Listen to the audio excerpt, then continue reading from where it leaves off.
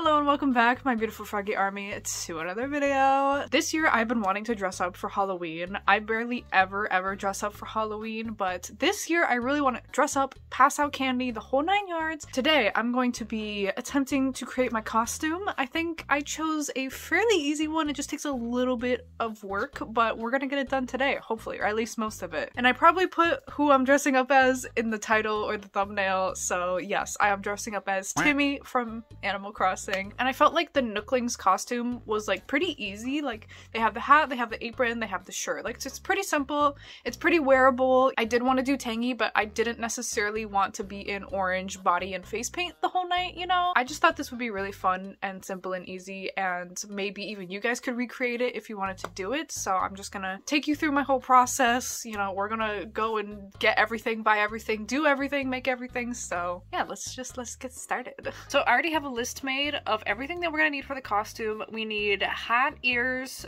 the clothes, and the apron. So for the hat, I already ordered it and we'll go check on that in a second because it already arrived, but it has some little nook leaves and like little orange dots. So we're gonna need to embellish that ourselves. So I put felt embellishments. We're gonna have to do that. So I'm gonna buy some felt.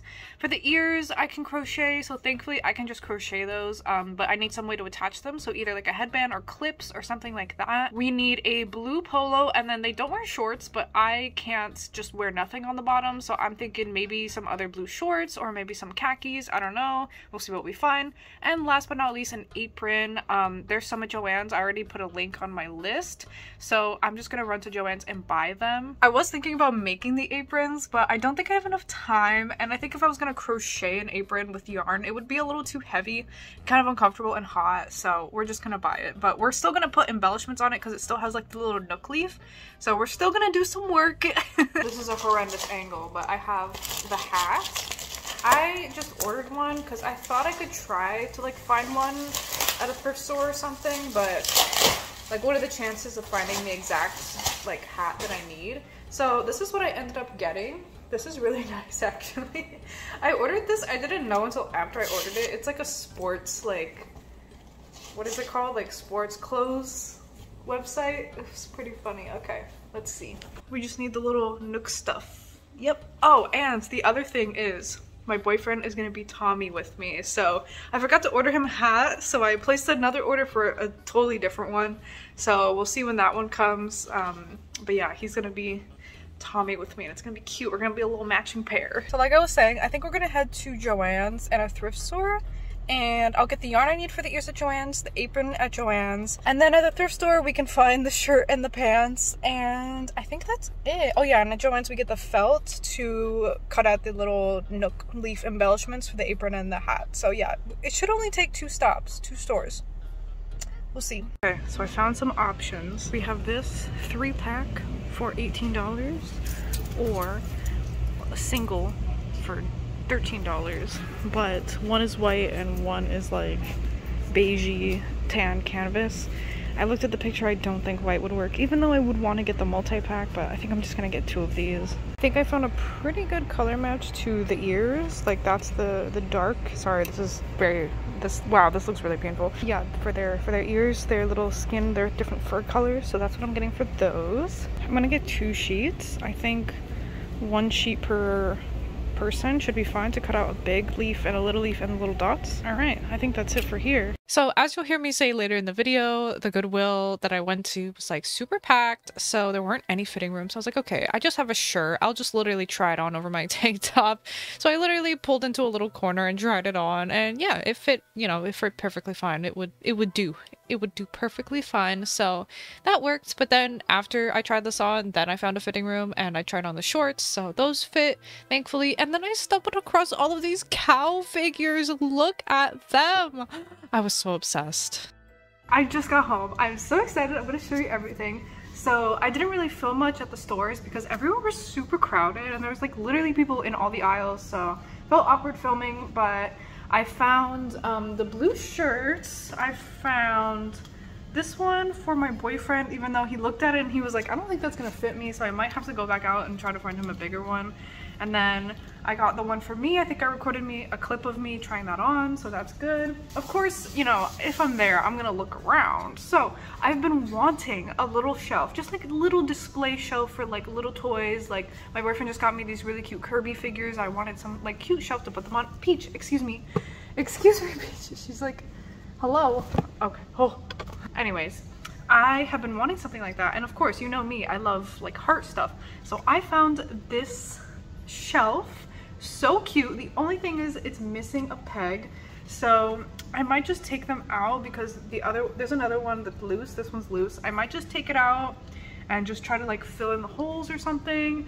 Cause I don't know if I would even hang stuff on there anyway. Like maybe, oh, maybe keychains would be cute.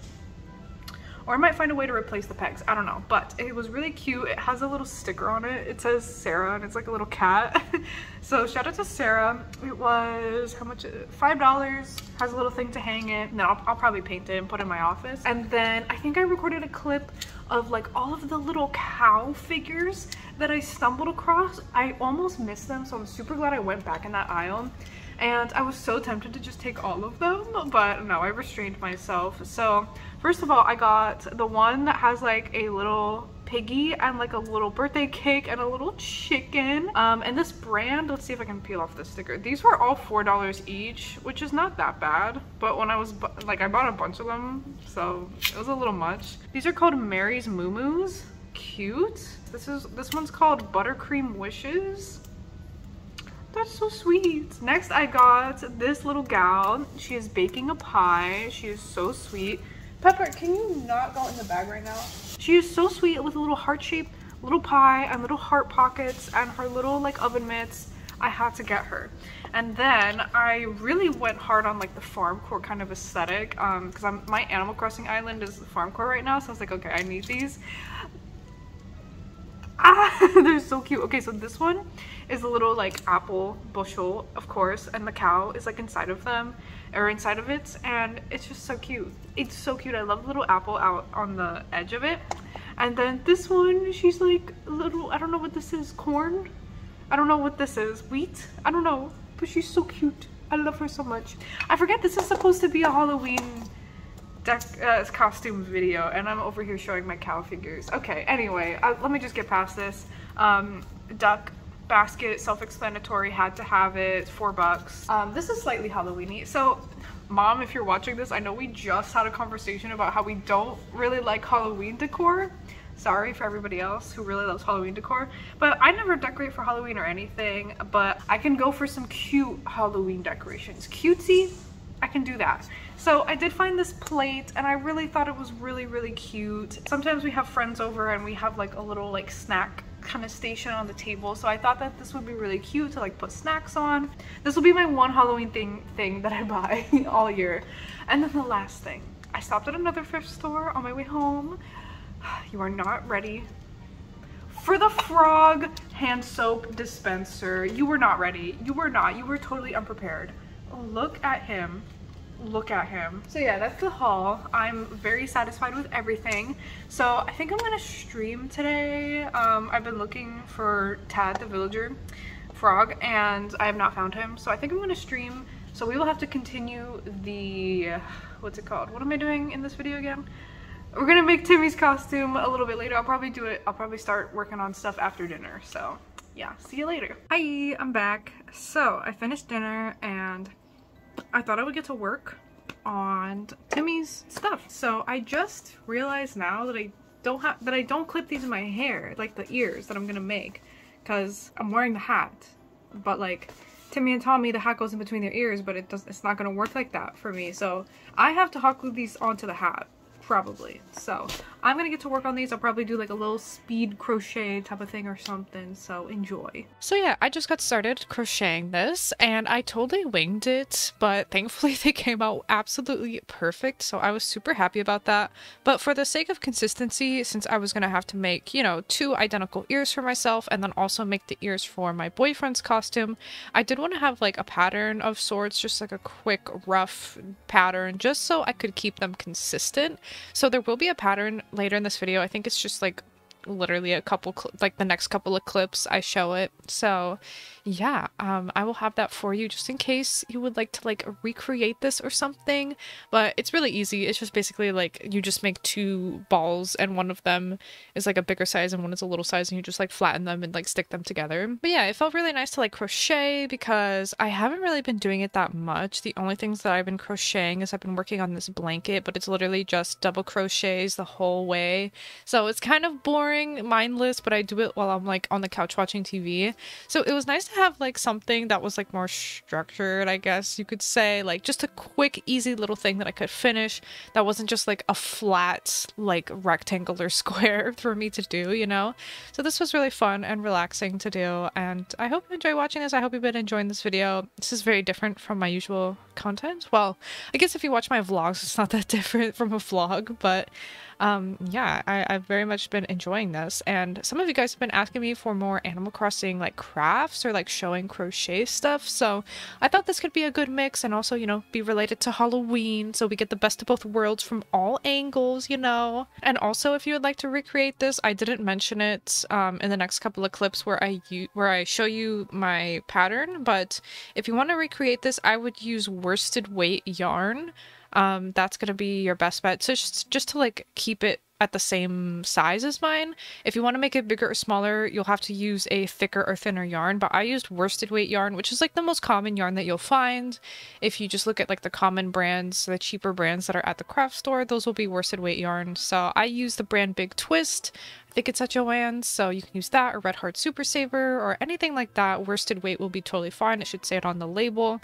Just check it if you're uh, there at the store shopping. So anyway, once I finished the outer part of the ear, I worked on the inner part, which was just straight pink, so that was pretty straightforward and easy, and I just made that super quick. This was really easy. They were all very quick to whip up, so it was very nice. Very quick, easy, love it. Okay, so I just finished the ear, the first ear. I think this is a pretty decent size. Oh, it looks so cute. I'm so excited about this. Um, so basically I just make like a little, literally just make a ball, but I do this color at the end and then you literally just flatten it. And then I did the same thing for the pink. Um, I will put a pattern up on the screen because this is really simple. Like I'll just put a pattern and I used a G-sized crochet hook.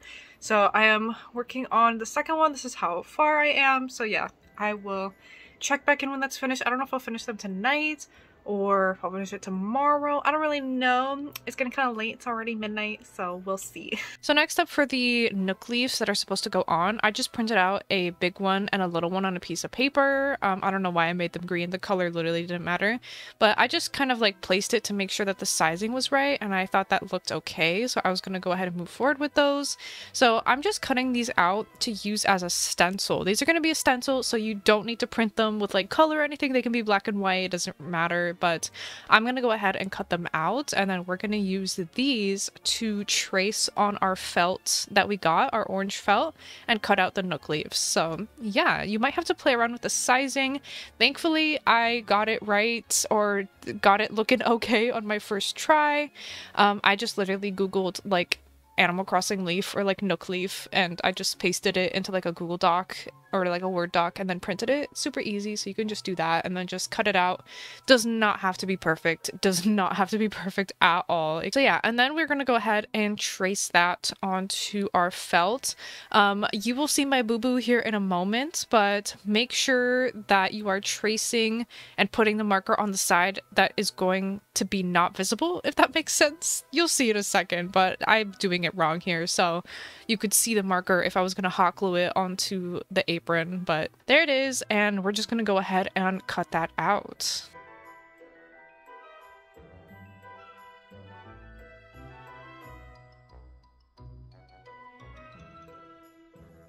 Okay, I finished, but I am so dumb.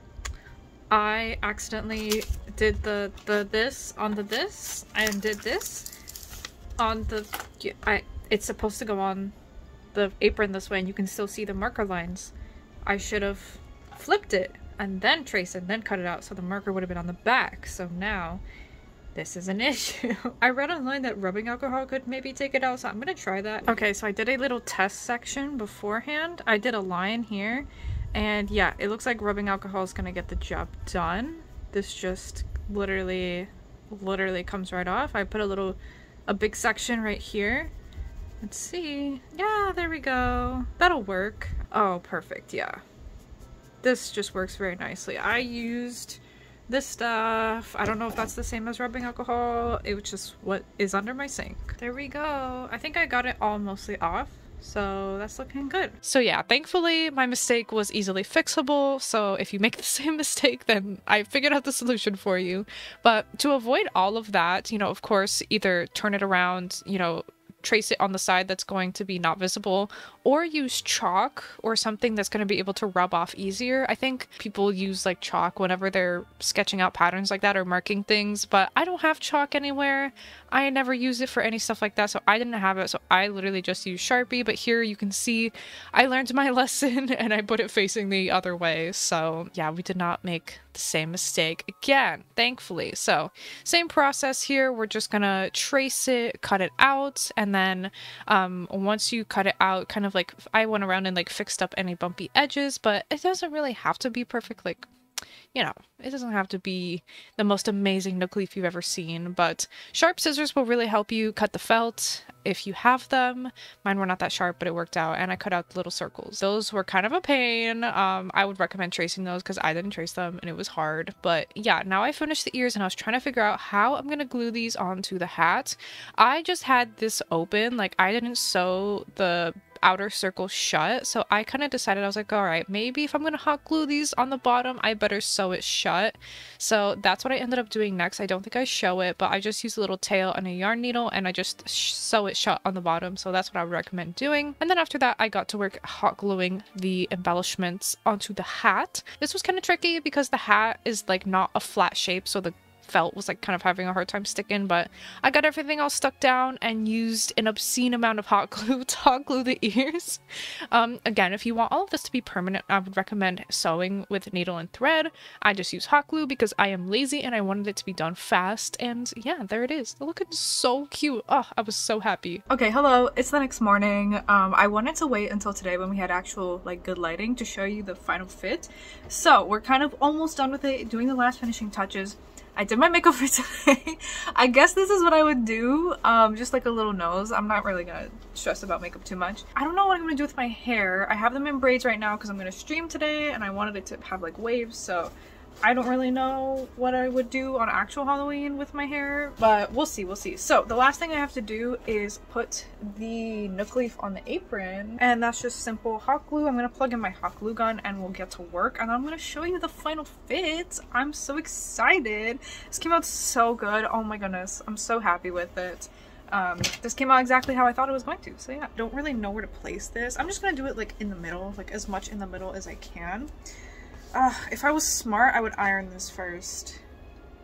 Yeah, I'm gonna do it. You know, let's not let's not leave wrinkles and stuff. I want this to actually look nice. Okay, so I went and quickly ironed it. There's definitely still some wrinkles that I couldn't get out, like the creases where it was folded, but it's definitely a lot better, especially on the top. It's like nice and smooth now. Also, please ignore all of the messes in the background. I know that they are there. Trust me, I'm well aware. Just gonna just go crazy with the hot glue, really. I just make sure to get all those like the little edges and pieces. And then I'm like, okay, then it's then it's good. And by the way, if any of you watching this right now are going as an Animal Crossing character for Halloween, please tell me who it is and please like comment who it is because I feel like barely anybody is going as Animal Crossing characters, which like I'm not surprised, but if anybody is, I just want to know. Like I'm curious, I'm nosy. And also, if I wanted to make this more permanent, I would sew it, but I don't want to do that. But yeah, if you if you wanted to make this permanent and you wanted it to like, I don't know if you can put hot glued stuff in the washer or dryer. Um, but if you wanted to, I would say like sew it by hand or something like that. But hot glue works perfectly fine for just like a quick easy, you know, adhesive bond. Make sure to unplug my glue gun because one time I left it plugged in literally overnight in my office. I was like, oh my goodness. Thank goodness nothing happened. There it is. Okay, let's go try everything on. Oh, this is gonna come out so good. I'm so excited. I thought that I could wear some different glasses because, you know, they're, they have like the little like Ranuki, raccoon tanuki eyes.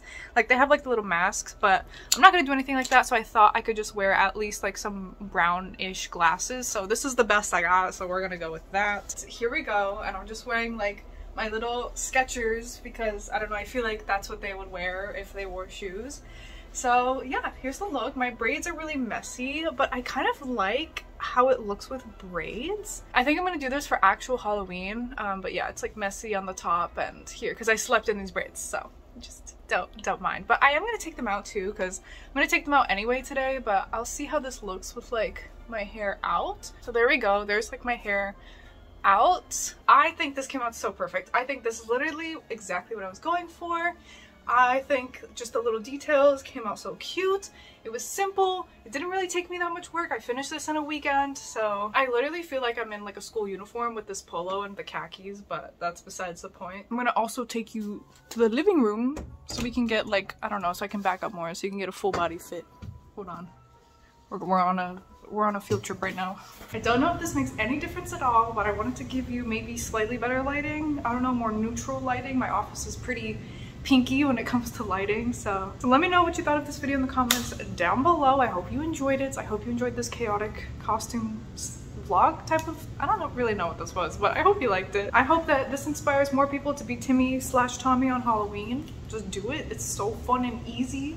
So yeah, I hope this gave you maybe some inspiration, either for this or something else, or I don't, I don't know, something. Thank you so, so much for watching this video. I really, really appreciate it. Don't forget to subscribe to the channel if you like Animal Crossing and plushies and squishmallows and cute things. And also like this video if you enjoyed it. Thank you so much for watching and I will see you in the next one.